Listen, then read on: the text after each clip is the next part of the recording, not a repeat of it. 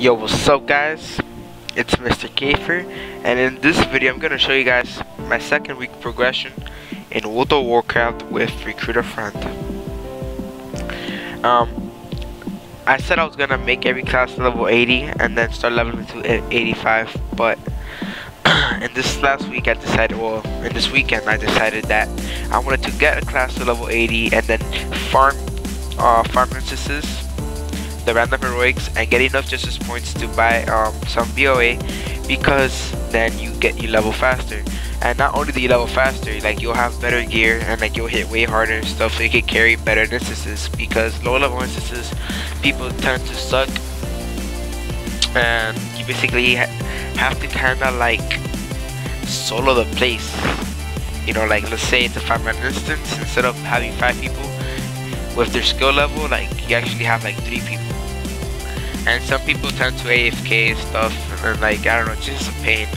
So whatever, I decided to get my mage level um, 85, and he, as you guys can see, he's level 85. Um, he's frost because I was doing Warsong Gulch of him, and uh, I had 4K honor, and I bought uh, the necklace and two rings just so I can queue up for heroics. Like if you see, my item level is 329 on the dot, and I can queue up. I just queued up right now. Um, it's fucking 11 a.m.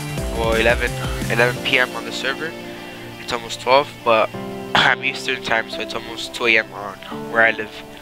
So yeah, guys, um, let me go straight to the to show you guys what I did this week. Um, again, like I have school and stuff, so I really can't do that much. And and what's it called? Uh, so I really can't play that much. But I was I managed to get my warrior to level 80 and then I think I already have my hunter level 80 last last week. And I and I was leveling either my warrior or my mage and it was level 60 so on this one I got the level 60 all the way to level 80 and then I made another character all the way to 85 and then I have my priest that I'm leveling now. I it was a gnome priest from last week. It was uh, this guy and I have to delete this guy I don't know if he has gold or anything else I haven't deleted him yet too lazy to check and I remade it to a Knight of Priests. I'm gonna delete my gnome, and I'm also gonna delete um, my my rogue. I'm gonna make a human. And notebooks. This guy might stay like this, or I might might I, I might remake again and go human. I'm not sure. And then for probably by the end of March or the end by mid March, I should have I should have every class 80 well at least 80 every class including DK and everything.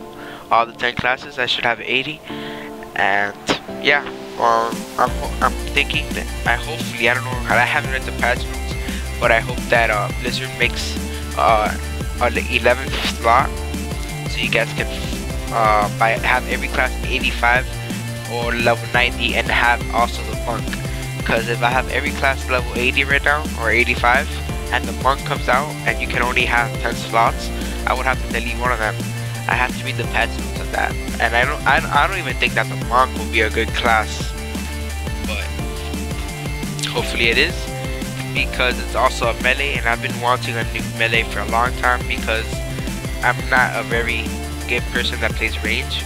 I won't be like a good ass melee, but you never know. Um, I, am actually doing pretty good with my mage now since I bought a Naga Razer mouse. Um, it actually helps a lot with all those keybinds. Like you can all like it has 17 buttons, but you can you can like keybind shift and CTRL and all to them. So it's actually very good. It actually ends up being like 40 keybinds. If you actually keybind all of it, you can actually play World of Warcraft off your mouse with the Naga Razer. Um, but yeah, guys, this was my video, and like I said, this is only showing my progression for the second week, second week of RAF um, just so you guys can get an idea how what RAF does to you if you uh, do it. I think it's actually worth it. Um, because if you buy every expansion, it's only 60 bucks. If you buy it together, take a bundle online. And uh, I think doing RAF is better than actually transferring every character by yourself. But also, like, if you're already geared out the ass, then yeah, I think uh, I think it's transferring every character is better. Even if it's like five times the cost, because even if it's five times the cost, like you're still gonna fucking spend a lot of time leveling plus getting the gear again. So yeah. So yeah, guys, thanks for watching and subscribe. Peace.